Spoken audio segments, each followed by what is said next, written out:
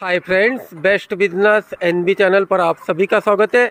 आज के वीडियो में हम आपको पोल्ट्री फॉर्म में लगने वाले फॉगर के बारे में बताने वाले दोस्तों। जी हाँ जैसा कि आप अभी वीडियो में फॉगर देख रहे हो दोस्तों, जो पोल्ट्री फार्म के अंदर इंस्टॉल किए हुए हैं। जी हाँ दोस्तों जैसा कि आप सभी लोगों को पता है, अभी फ़िलहाल गर्मी के दिन चल रहे हैं और गर्मी के दिनों में पोल्ट्री फार्म चलाना बहुत मुश्किल होता है। जी हाँ दोस्तों, बाहर का टेम्परेचर ज़्यादा होने के कारण मुर्गी फार्म का भी टेम्परेचर बढ़ जाता है और टेम्परेचर बढ़ने से ही स्ट्रोक का जो खतरा है, वो अक्सर बना रहता है।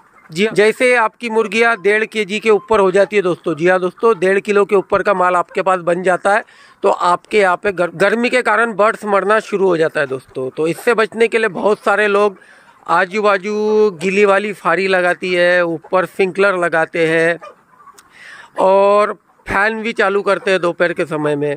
और इनसे बचने का सबसे बढ़िया इलाज होता है दोस्तों फॉगर सिस्टम। जी हाँ जैसा कि आप अभी वीडियो में देख रहे हो। जी हाँ ये फॉगर सिस्टम है दोस्तों। अभी फ़िलहाल वीडियो बनाने के लिए सुबह का समय है, दस ही बज चुके हैं, लेकिन मैंने वीडियो बनाने के लिए सिर्फ़ इसे ऑन किया है और आप देख सकते हो अभी हवा किसी तरफ़ से किसी तरफ़ नहीं बह रही है करके ये सीधे फॉग मार रहे हैं दोस्तों। जी हाँ। ये जो फॉगर है दोस्तों, जो आप वीडियो में देख रहे हो, इसकी खासियत ये है कि इससे नीचे का गीला नहीं होता। जी हाँ कुछ भी हो जाए, नीचे का लीटर गीला नहीं होगा। अभी आप देख सकते हो, ये फॉगर नोजल है। और ये फ़िलहाल डायरेक्टली हमारे तरफ़ फॉग मार रहा है दोस्तों। और आप देख सकते हो, कैमरे पे भी किसी तरह का कोई बूंदाबांदी नहीं है। जी हाँ।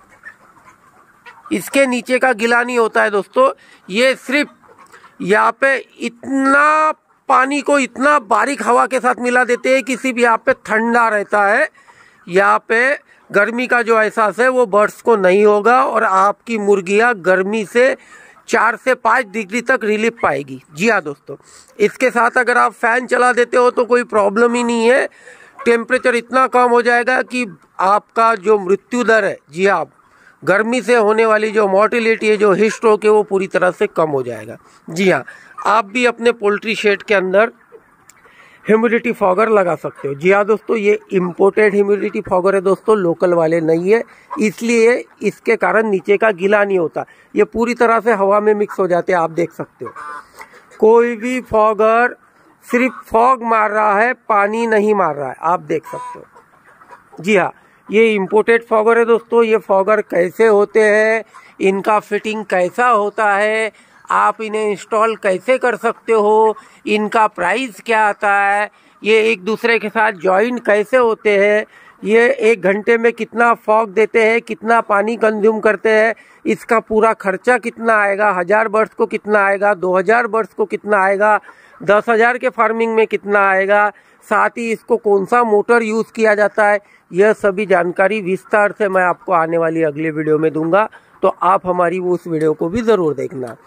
आने वाली अगली वीडियो देखने के लिए अगर आपने हमारे चैनल को सब्सक्राइब नहीं किया है तो चैनल को सब्सक्राइब करके बाजू में दिया हुआ बेल आइकॉन भी क्लिक कर दीजिए, ताकि हमारे सभी वीडियो आप तक पहुँच सके। आपको ये हमारी वीडियो कैसी लगी कमेंट में ज़रूर बताना। वीडियो पसंद आई हो तो वीडियो को लाइक ज़रूर कीजिएगा। और हमारी आने वाली वीडियो ज़रूर देखना ताकि आप भी इस इम्यूनिटी फॉगर को अपने पोल्ट्री शेड के अंदर इंस्टॉल करके पोल्ट्री शेड को ठंडा रख सको। वीडियो को अंत तक देखने के लिए आप सभी मित्रों का धन्यवाद।